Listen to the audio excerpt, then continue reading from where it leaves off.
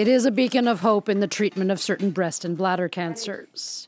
Medicine that targets just the cancer cells and kills them off. Some doctors say that these drugs, that have a missile like precision, could even potentially replace traditional chemotherapy one day.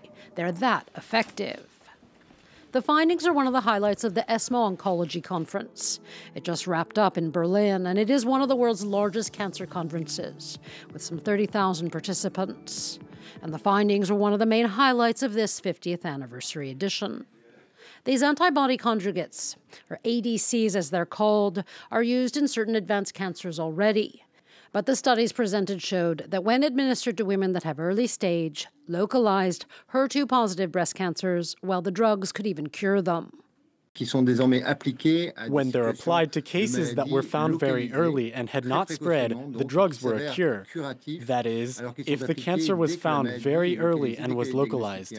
This is one of the big takeaways of ESMO 2025, finding how drugs already used in advanced cancers or relapses can, when used on early cases, significantly improve survival. The clinical trials showed that these ADC drugs can delay and even prevent certain cancers' return, even among those that have a high chance of coming back. Some doctors at the conference say the findings on these medicines were so promising that these ADC studies were akin to the discovery of how immunotherapy can effectively fight